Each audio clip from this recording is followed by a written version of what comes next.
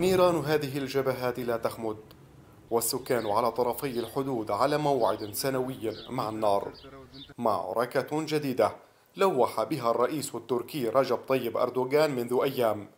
بدأت قوات سوريا الديمقراطية بالتحضير لها على طول الجبهة الممتدة لنحو 500 كيلومتر.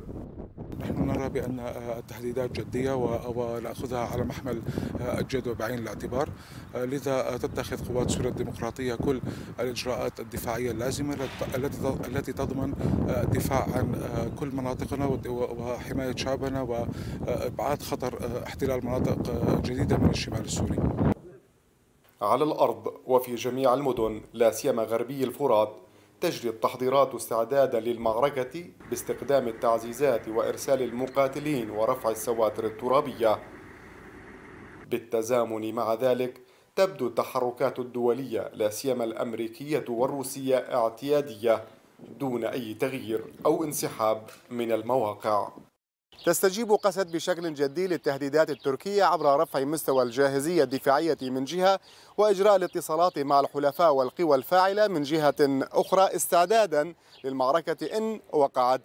هكذا يبدو المشهد هنا. كيف يبدو على الطرف الآخر من الحدود حيث يقف زيدان زنكلو شكرا جمعة. هنا قبالة مدينة عين العرب.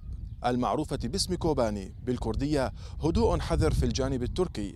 حتى الآن لم يرسل الجيش تعزيزات كبيرة إلى الحدود لكن الوحدات العسكرية في الولايات المتاخمة للحدود السورية على أهبة الاستعداد.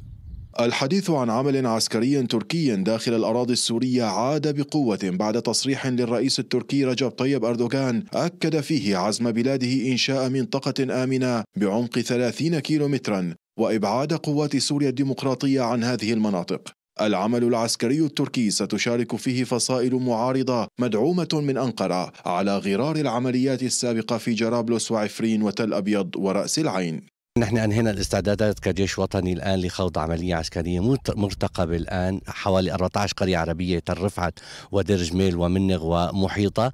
هناك 150 ألف وأكثر آه، من أهالي هذه القرى العربية المهجرين يسكنون بالخيام. هناك 250 ألف كردي آه، سوري كردي يسكنون في آه، أيضا في أورفا يريدون العودة إلى ديارهم. هم من عين عرب كوباني. مشروع المنطقة الآمنة يهدف بحسب السلطات التركية إلى إعادة اللاجئين السوريين لهذه المناطق ونقل عديد المخيمات على جانبي الحدود إلى وحدات سكنية يجري إنشاؤها الآن.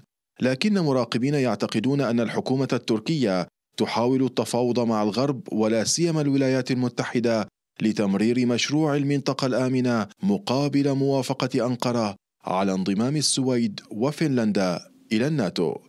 لقناة العربية زيدان زنجلو من بلدة سروج الحدودية مع سوريا.